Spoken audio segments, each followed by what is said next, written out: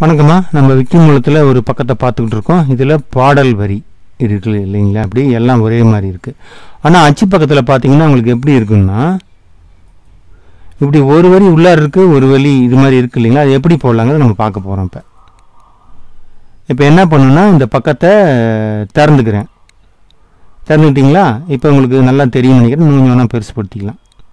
சரி இது தேவையில்லை இப்போதைக்கு. சரி. இப்போ அந்த பாடலுக்கு முதல் வரி இப்படி போட்டுக்குங்க. இந்த லார்ஜர் வந்து இதுக்கப்புறம் வர்றது எல்லாமே லார்ஜராக பண்ணு.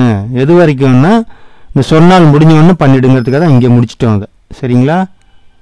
சரி இது லார்ஜருடைய பொருள். இது எல்லாமே பொயம்பா அப்படின்னா இது எல்லாமே பொயம் இங்கே ஆரம்பிக்குது பொயம் பாருங்க. முடியுது இங்கே ஆரம்பிக்குது. சரியா? இது வந்து பொயட்ரி இது எல்லாமே நடுவில் இருக்குன்னா எல்லாம் பிளாக் எல்லாமே சென்டர் நடுவில்.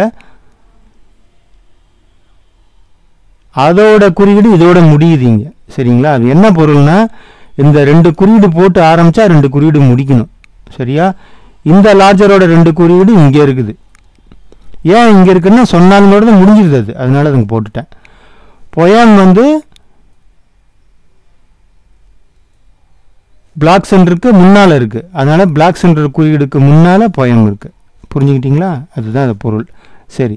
இப்போ ஒன்று விட்டு ஒன்று போகிறத பற்றி பார்ப்போம் உயிப்பல் இப்போ ஊக்கு முன்னால் கடைசியில் வச்சுக்கிட்டேன். ஒன்று ரெண்டு மூணு நாலு அஞ்சு ஆறு ஏழு எட்டு. ஷிஃப்ட்டு அடித்து அழுத்திக்கிட்டு ஹோம் அப்படின்னு ஒன்று இருக்கும். கீபோர்டு அதை அழுத்திங்க.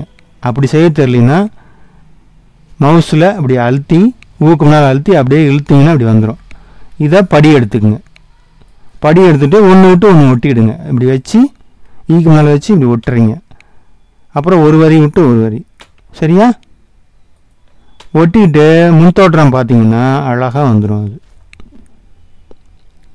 இது வழக்கமாக வந்து குறியீடு போடுவாங்க அந்த இடத்துல. ஆ சரிங்களா? அந்த இடத்துல வந்து இப்படி கேப் கேப் தானே வேணும். கேப்னு ஒரு குறியீடு போடுவோம். நிறைய நம்ம குறியீடுகளை வந்து தவிர்த்துடணும். அதுதான் நல்லது நம்மளுக்கு. ஆ சரியா? சரி இது கேப் மாதிரி இந்த எட்டு ஸ்பேஸ் கொடுக்குறதுக்கு நான் கூடிய விரைவில் பட்டன் வந்து செய்ய சொல்லியிருக்கேன் நண்பரை. அவர் வந்து செய்வார். சரிங்களா? வணக்கம்.